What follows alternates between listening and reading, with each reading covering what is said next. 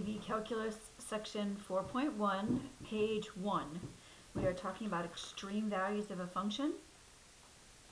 And we're going to start off reviewing some of your pre-calculus and handle these ideas intuitively initially. If we want to talk about um, relative or local extrema, the relative or local part means in the nearby area.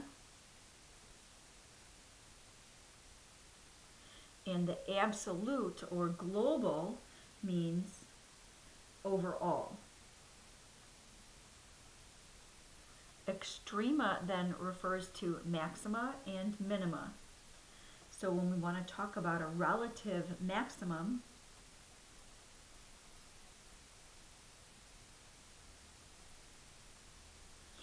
that's kind of like the top of a hill.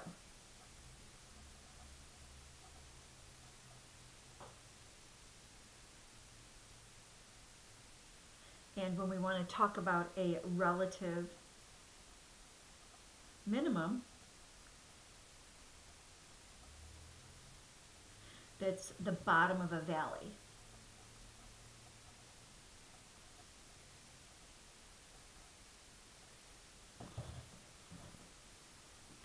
Absolute extrema, so an absolute maximum,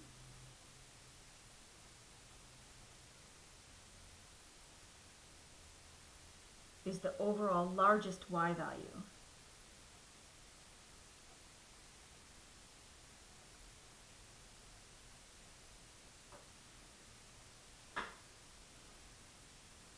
And an absolute minimum is the overall smallest y value.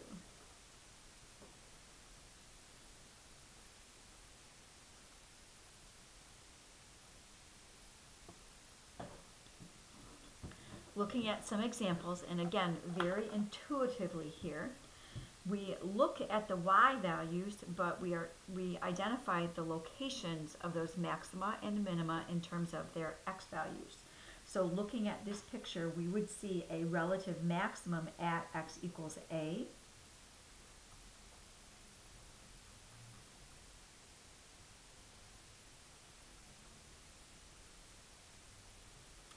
At B, we'll see a relative minimum. It's a low spot.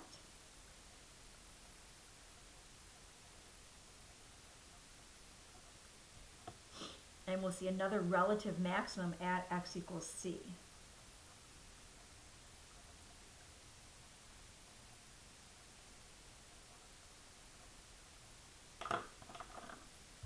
In terms of the absolutes, the overall largest y value occurs right here at x equals c.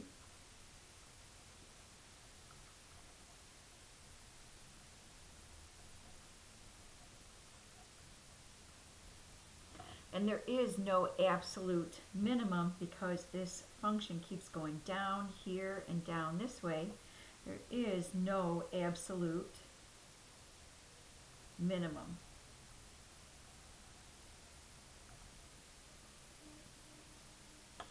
Taking a look at this graph, if we look for our relatives first, we'll see a relative minimum here at E.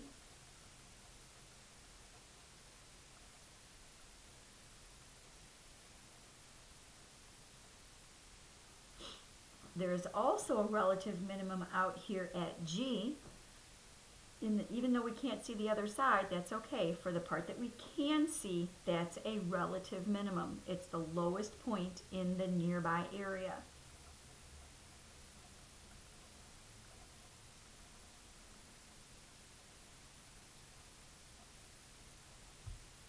We'll see a relative maximum at F.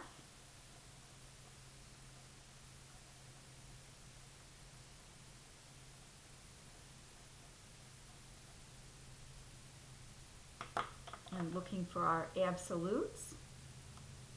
The overall largest y value occurs right here at f, so we do have an absolute maximum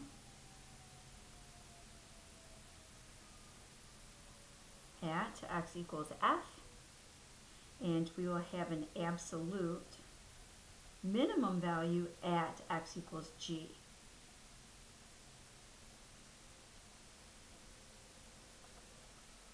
That is the overall lowest y value.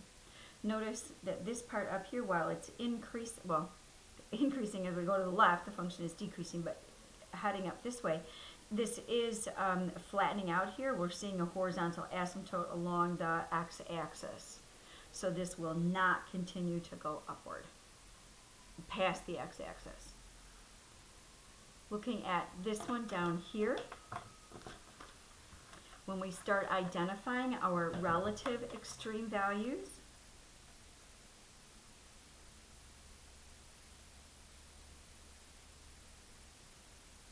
we only see a relative minimum at x equals c.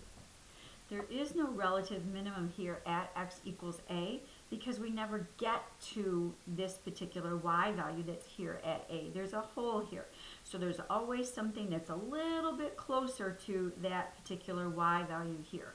There will always be another point in between. So this is the only relative minimum value over here at x equals c. There is a relative maximum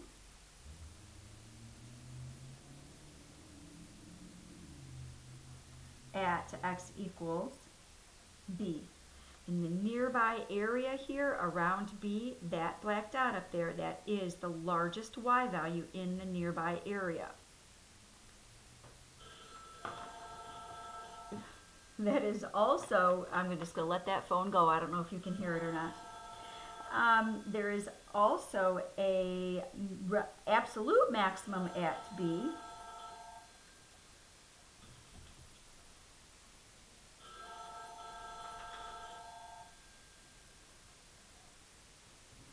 Okay, how about an absolute minimum?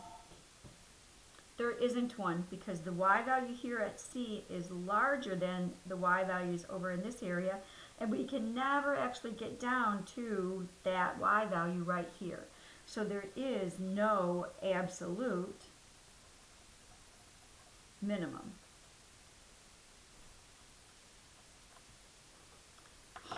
All right, now what if we look at this graph over here, and instead of the point at x equals b, instead of it being up there, what if it was down here?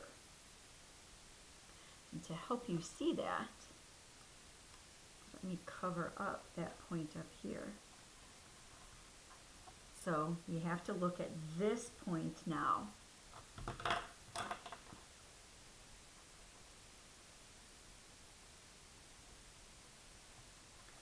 It's the pink dot that's right there.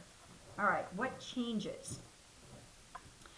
Um, oh, it's only at B, so we're not interested about anything that could be happening at C. About this point right here at B, it's no longer a maximum value. There is no absolute maximum. That spot at B is no longer a relative maximum.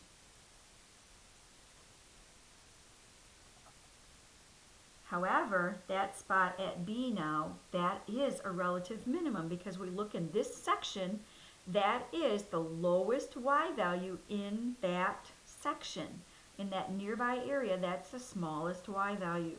So there is now a relative min at x equals b. And absolute minimum doesn't change. However, if I had taken that point and instead of putting it like up in here, what if I put that point at B way down here?